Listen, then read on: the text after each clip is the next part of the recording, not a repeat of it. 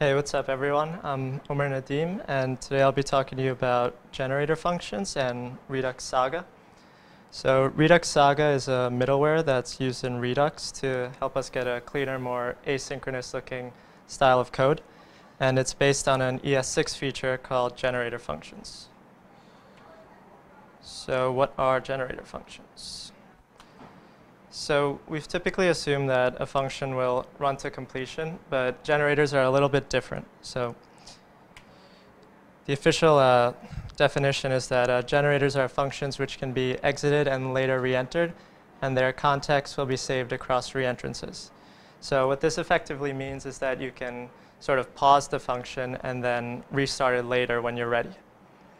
And uh, generators are also cooperative, which means that we choose when to pause the function, but and it doesn't stop other code from running, and then we have to reinitiate it when we're ready.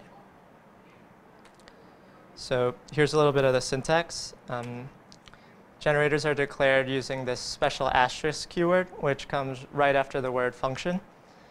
And uh, little fact, some call this a superstar. I only read that on one article and wasn't really able to confirm it anywhere, but I thought I'd roll with it.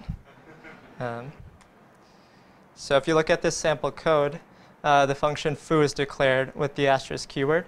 And uh, there's three separate variables, and the function returns the sum of those variables.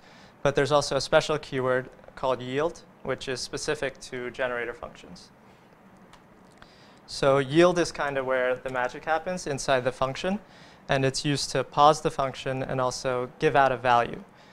And the next time we run the function, we can also pass in a value to that yield expression. Um, you can also use the asterisk with the yield, which basically means that it will pause and then delegate its actions to another generator function, which will complete and then come back to the original function. So here's a little bit of summary of how to run the function. It's a little confusing, but uh, I'll walk through an example on the next slide. So we first invoke the function and we store it in a variable. And when we actually run the function, we don't go through the code, but it just gives us back an object which we can use to iterate through it. So on that object, you can call next, and then it'll break at the first yield that you specified inside the function. And that object that we return gives us a value, which is what is to the right of the yield expression, and done, which indicates a true or false on whether the function is completed. And we can keep doing this until we're done or stop at any point, and it won't affect any of the rest of the code. So here's a small example. Um, the function foo basically takes in an expression for x, y, and z, and it'll pause at each yield. So here's the actual code when we're running it.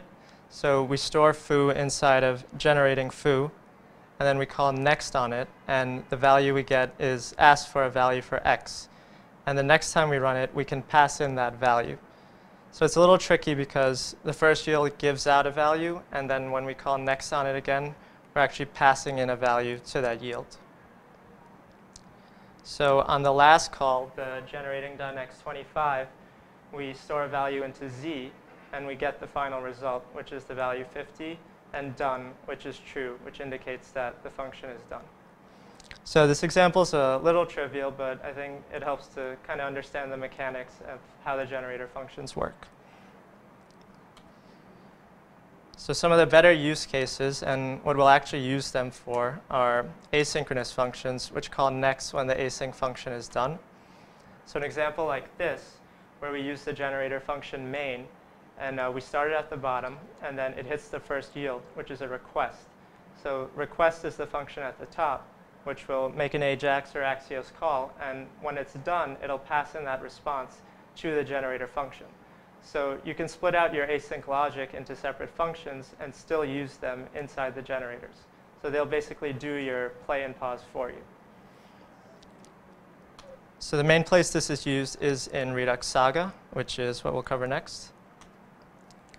So in Redux, you know, it handles synchronous actions, and uh, we're usually using a Redux Thunk, but Redux Saga is like an alternate to that. And it's a little bit better, in my opinion.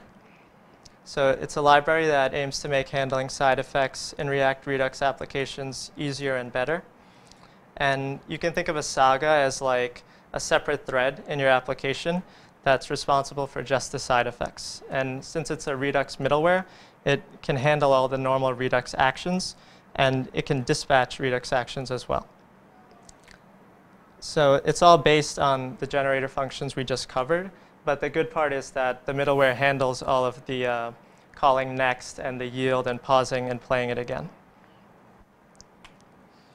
So here's some of the boilerplate setup. It's uh, relatively simple. You just import Redux Saga, and you create the Saga middleware and mount it on the store in the create store function. And at the bottom, you run the root Saga. So our sagas are split up into two categories, which are uh, watchers and workers. This is just convention. You don't have to do it like this, but it makes it a little bit easier to understand. So the watcher sagas basically watch for any action that's dispatched to the store, and then they delegate that action or that listening of that action to a worker saga. And in that worker saga is where you actually sort of process the code and do all your actions. Uh, those watcher sagas are typically in the main root saga function that you'll export and mount on the store. So here's an example on the left. Um, some of these keywords are special Redux Saga functions, which we'll uh, look at next, like take every, call, and put. But basically what's going on is that the watch get products is listening every time that a get all products action is dispatched to the store, and then giving it to the other generator function, get all products. So inside of get all products, we do an API call and store the result of that into products, and a put does a dispatch, which does an action creator with the products passed in. So on the right-hand side is a little bit of a more involved example, but it's basically doing the same thing. So instead of take every, they wrap this one in a while true loop, which is an infinite loop, but it's okay with generator functions because they pause and play. And inside a checkout, we select the cart, do a call with that cart, and dispatch to the store if it's successful. And if it's not, we'll dispatch the error. So this is kind of why I like Redux Saga, because you can get like a clean flow of exactly what's going on, and it's a little bit simpler to understand. So you can see that anytime there's a checkout request, you can go to your worker saga and see exactly what you're doing. So these are some of the saga helpers that I mentioned. Uh, take every basically means that do this worker saga every time this action comes in. And take latest does the same thing, except that if subsequent requests come in on that same action, it'll uh, cancel the prior ones. So depending on the type of action we're setting up, you can choose one of these usually to initiate. So the effect creators are like call and put and take, and uh, these effect creators return plain JavaScript objects, but given to the middleware, they're like instructions, and the middleware is where the actual iteration happens.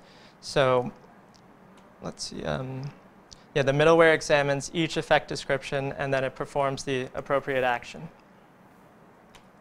So the main ones, if you're using this library, is going to be call and put. I think call is the one we can focus on, that it basically does a function and you can pass in optional arguments to it.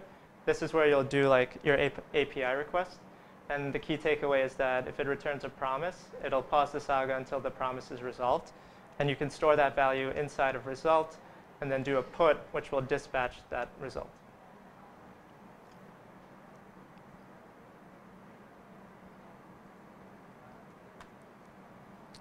Yeah, so these are some of the advantages um, of Redux Saga over Redux Thunk. Like I mentioned, uh, it's a more synchronous looking code with sort of a easy to follow step-by-step -step process. And you can tuck away the asynchronicity into a separate part. Um, it allows for fairly complicated flows. So you can do like a call, store that in a variable, and then do another call, and then based on that, do a dispatch with put, and do another call. So you can really like layer actions on top of each other and still keep it sort of easy to understand. Uh, sagas are composable. This was basically the yield with an asterisk. So you could set up a saga, which will then delegate to another saga and run that one to completion, then come back to the original one. Uh, one of the advantages is that action creators become pure. So your action creators aren't mixed up anymore. Like you don't need a function that returns another function that does a call and then another dispatch. You can basically just have functions that return pure objects. And this, uh, what this separation does, it makes the side effect code separated to the single area of your application, which is the sagas page. Uh, this library has a lot of helper functions and pretty solid documentation. Uh, one last bit of piece, uh, one last piece is uh, testing. So as we're all moving on to Capstone and getting ready for larger projects, I think we've been told that testing becomes a little bit more important. So the Redux test that we've been writing, we're usually only testing the action creators, like the synchronous actions. But with this, it's a little bit easier to test the async code too, because the effect creators return just plain JavaScript objects, and we can test all of our async calls, like in here, basically by iterating over the generator and seeing that the value of the next call matches what you had intended.